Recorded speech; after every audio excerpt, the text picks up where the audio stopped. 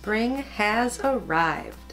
The calendar tells us it's spring, and outside the snow is almost all gone, and there's little green buds popping up through the debris. I'm so excited for spring to be here. Today I am going to show you how to style a tiered tray for spring. I'm using yellows, a little bit of buffalo check, and lots of greenery. Now normally we see each other face to face in these videos, but I have been under the weather for quite some time and I did not want to show off my red nose and red eyes. So instead you're just going to hear me talk and I am going to show you some beautiful spring decor.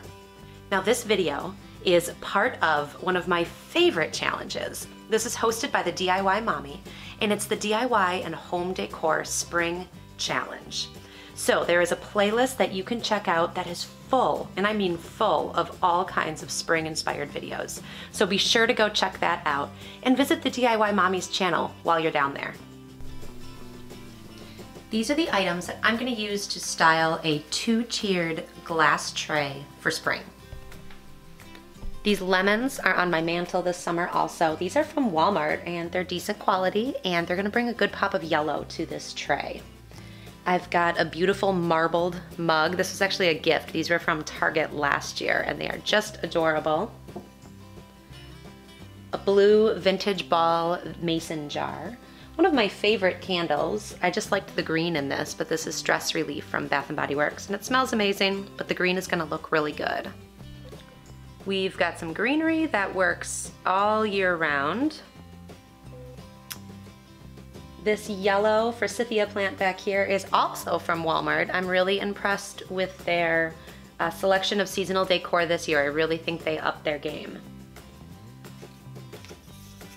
And then finally, this little spring plaque.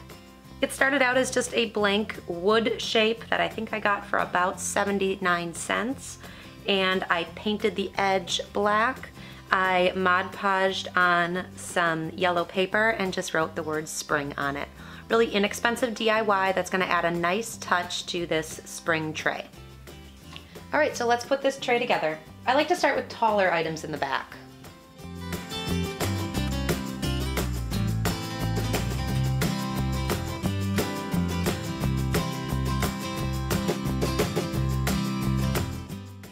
These green sprigs work really well for filling in the background of a tray.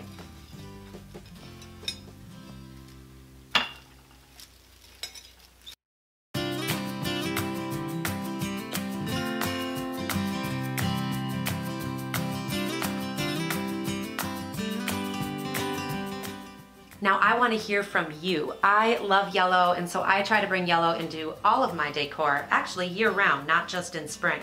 I wanna hear what your go-to color is. Tell me in the comments, are you a yellow fan like me? Do you use blues or reds or grays throughout your home? Tell me down below what your go-to decorating color is. I'd love to hear from you.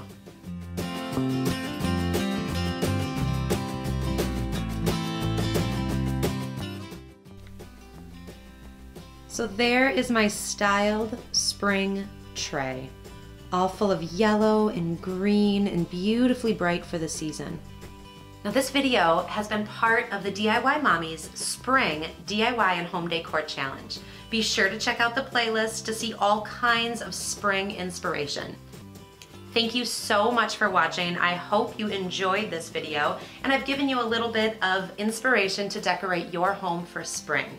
There's a few other videos you may want to check out and if you're not already subscribed to Creative Ramblings, be sure to do that down below. Until next time, thank you so much for watching.